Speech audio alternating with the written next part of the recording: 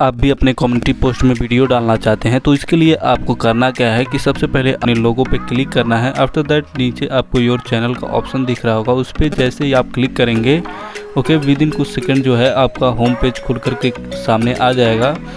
Scroll करके जैसे ही हम नीचे आते हैं, आपको वीडियो देखने को मिल जाएगा। तो जिस भी वीडियो को आप कम्युनिटी पोस्ट में डालना चाहते हैं, उसके साइड में आपको थ्री डॉट देखने को मिल जाएगा। तो जैसे ही आप थ्री डॉट पे क्लिक करेंगे आफ्टर शेयर पे क्लिक करेंगे। तो आपको ऊपर क्रिएट पोस्ट का एक ऑप्शन देखने को मिल जाता है। तो जैसे ही आप क्रिएट पोस्ट पे क्लिक करते हैं, यहाँ पे आप अपने वीडियो का जो है टाइटल डाल करके,